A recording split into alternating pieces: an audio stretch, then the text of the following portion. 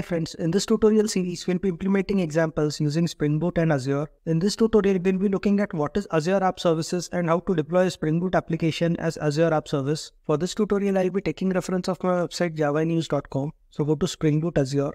In Spring Boot Azure, go to deploy a Spring Boot application to Azure App Service this tutorial, we'll be creating a Spring Boot 3 application and deploying it as an Azure App Service. In the next tutorial, we'll be creating an Azure API Management Service to securely access the deployed Azure App Service. So what is an Azure App Service? Azure App Service is a fully managed platform as a service offering from Microsoft Azure for building, deploying, and scaling web apps. Some of the benefits of deploying to Azure App Service are as follows. Managed infrastructure, scalability, high availability, continuous deployment, security, cost effectiveness, multiple language support, easy monitoring, global reach, ecosystem integration. This tutorial will be having the following workflow.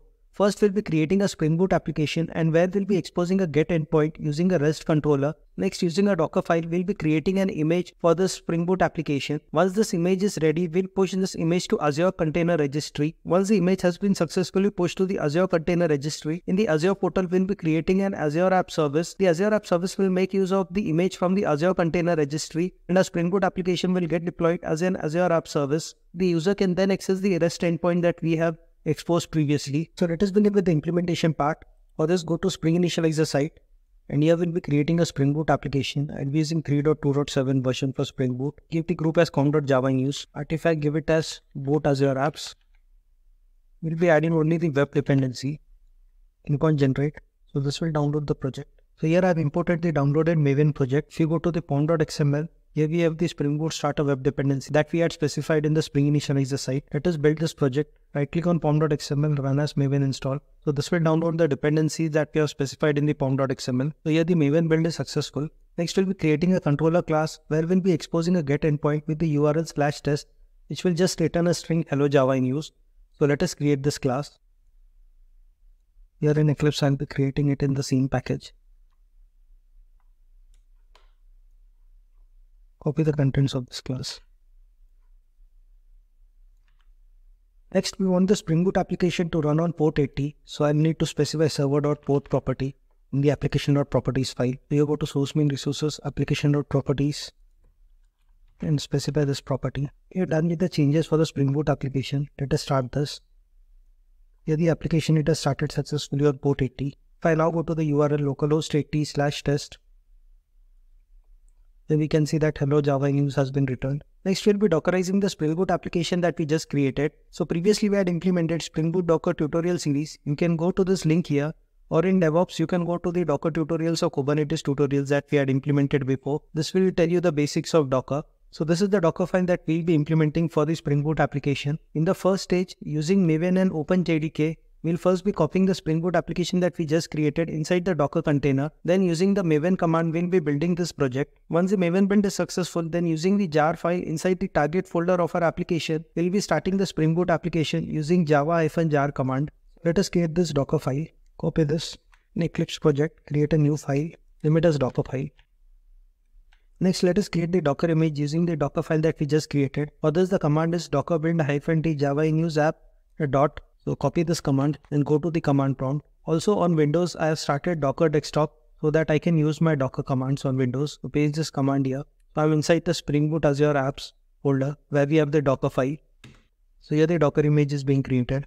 Here the Docker image it has been created. If you now go to Docker Desktop, in images we can see that an image in Java News app has been created for us. So we have created a Spring Boot application and for this application we have created a Docker image. Next we'll be pushing this Docker image to Azure Container Registry. For this we'll go to the Azure portal and create an Azure Container Registry named Java News Registry. So go to the Azure portal. So here I've logged into the Azure portal. Next search a container registry. Click on create Select the resource group. The registry name, I'll be giving it as Java News Registry News since I already have an existing Java News registry. Click on review and create. Create.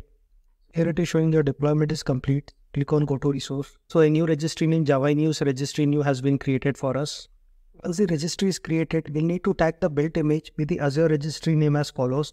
We'll be making use of the following command docker tag, the name of the existing image that is Java News app and the name of the Azure Container Registry, the name of the image.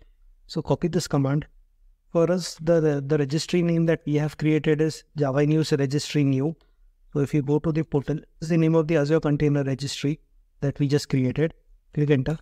If you go to Docker Desktop, now we have two images. One was the Java News app image previously created. And here this is the same image, but we have just typed the Azure Container Registry to the image name. Next, we'll be pushing this image to the Azure Container Registry. But before doing so, we'll first need to log into the Azure portal from the command prompt. And for this, the command is az login.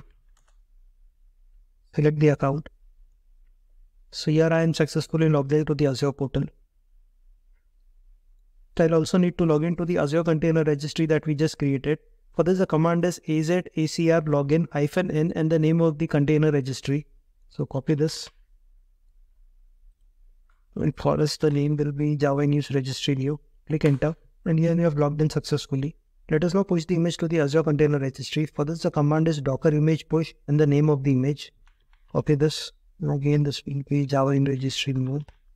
So here the image it has been pushed successfully. You now go to the Azure Container Registry, Services, Repositories. So here we can see that our image, it has been successfully pushed. Next in the Azure portal, we'll be creating an Azure App Service, which will deploy the image that we had just pushed to the Azure Container Registry. In the Azure portal, we'll go to the Azure App Services and create a new web app. So go to the Azure portal. You go to App Services, create, create a web app. Select the resource group. The name I'll be giving it as Java News. We'll be publishing this as a container. Let's go to the container tab. Here we'll be getting the image from the Azure Container Registry. So select this, select our registry. So it is Java News Registry New. And here we get some exception that this uh, registry does not have admin rights. In order to resolve that error, we'll need to give admin rights to the Azure Container Registry. So for this, the command is azacr update the name of the registry hyphen hyphen admin enable true. So copy this command For us, it is Java News Registry new. Go back to the portal now. And here we'll again create the web app resource group. Give the name as Java News app container. Go to the container tab, Azure Container Registry. Select the registry. So here now we are not getting that error. Next, go to review and create. Click on create. This will create the Azure web app for us. Here it is showing that the deployment is complete. So go to the resource. So here a web app named Java News app has been created for us. Copy this URL java javainuseapp.azurewebsites.net HTTP and the URL we had this test that we had deployed. So here we are getting hello Java in use correctly. Now this deployed Azure web app, it is available publicly and this is not what we'll want for most of our applications. So in the next tutorial, we'll be adding security to this deployed Azure web app using Azure APIs. So only a person who has a valid subscription key, he will be able to access this URL. Hope you have understood this tutorial. You can download the source code from here. Thank you.